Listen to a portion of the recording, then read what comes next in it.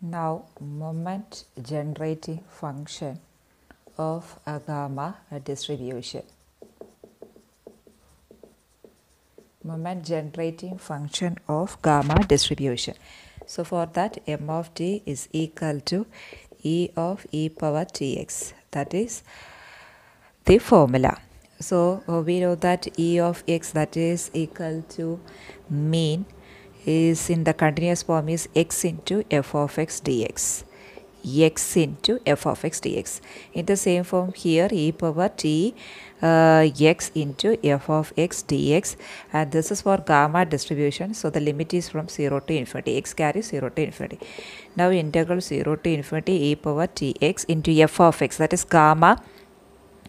Uh, function is uh, x power alpha minus 1 into e power minus x by beta divided by gamma alpha beta power alpha into dx which is equal to integral 0 to infinity e power tx e power minus x by beta. So e power if you take minus x outside you can write 1 by beta minus t into x power alpha minus 1 divided by gamma alpha beta power alpha into dx.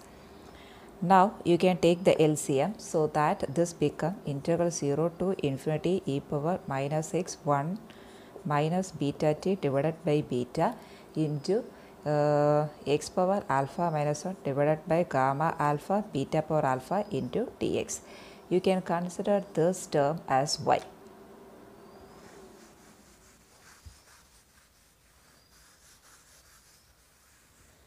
So let y is equal to x into 1 minus beta t divided by beta so that x is equal to beta y divided by 1 minus beta t. Now differentiate dx is equal to beta divided by 1 minus beta t into dy.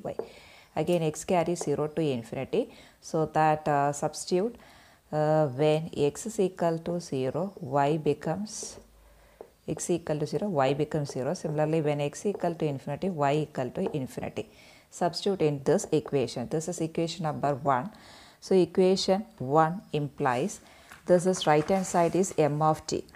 So that you can write 1 implies that is this equation m of t is equal to integral same limit 0 to infinity e power minus in this place you can substitute y into in this x place you can substitute beta y divided by 1 minus beta t the whole power alpha minus 1 into in the place of dx you can substitute beta divided by 1 minus beta t into dy divided by gamma alpha into beta power alpha now you have to do little simplification.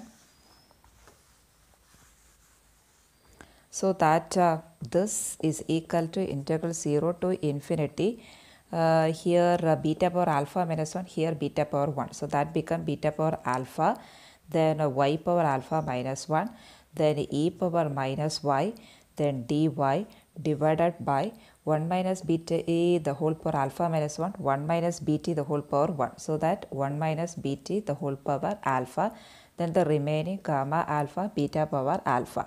So that this integral is depends for y y axis uh, sorry uh, variable y. So that take the remaining everything outside. So beta power alpha divided by 1 minus beta t the whole power alpha gamma alpha beta power alpha write the remaining integral 0 to infinity y power alpha minus 1 e power minus y into dy. This is nothing but our gamma integral. Gamma integral. So that you can write beta power alpha divided by 1 minus beta t the whole power alpha to gamma alpha beta power alpha yeah you can cancel this too. And this is gamma integral gamma alpha. Again these two get cancelled so that we will get 1 minus beta t the whole power alpha. And that is 1 minus beta t the whole power minus alpha with the condition that t less than 1 by beta. If uh, t is equal to 1 by beta uh, this becomes 0 1 minus beta into 1 by beta. That becomes 0 so the restriction is there. So t less than 1 by beta the moment generating function is function of gamma distribution is 1 minus beta t the whole power minus alpha. Now we can see mean and variance of gamma distribution. Mean and variance of gamma distribution so for that here we can use by uh, MGF using moment generating function. So, moment generating function we know that is m of t is equal to that is moment generating function of the gamma distribution. Just before slide we see 1 minus beta t the whole power minus alpha with t less than 1 by beta. Now, uh, for finding variance you have to differentiate it. So, m dash of t is equal to minus alpha into 1 minus beta beta t into differentiate with respect to t. So, that minus t. So, which is equal to uh, alpha into 1 uh, sorry here it is beta. So, alpha beta into 1 minus beta t the whole power minus alpha minus 1 differentiate x power n n x power n minus 1 such a way. So, here minus alpha minus 1. Now, at t is equal to 0 this become m dash of 0 is equal to alpha beta into 1 minus 0. So, that it is 1 that is nothing but this is mean mean of the gamma distribution is alpha beta. In the same way you have to find for variance. So, for that you have to differentiate this once again. So, that differentiate this equation, equation number 1.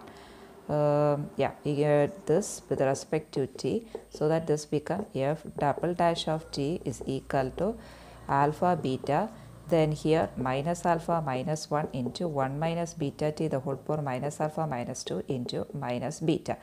So, that this become if you take minus outside, minus then minus plus. So that alpha beta square alpha plus 1 into 1 minus beta t the whole power minus alpha minus 2.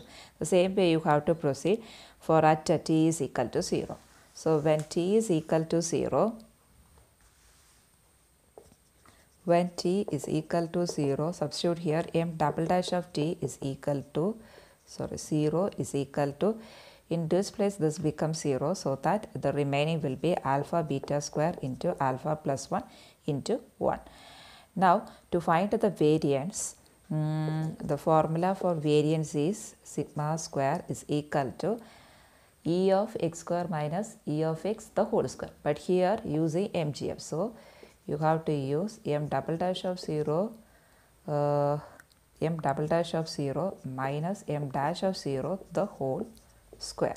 So, m double dash of 0 is here alpha beta square into alpha plus beta alpha plus 1 minus m dash of 0 already we found out that is alpha beta. So, that this is equal to alpha square right alpha square beta square plus alpha beta square minus alpha square beta square. So, these two get cancelled which is equal to alpha beta square.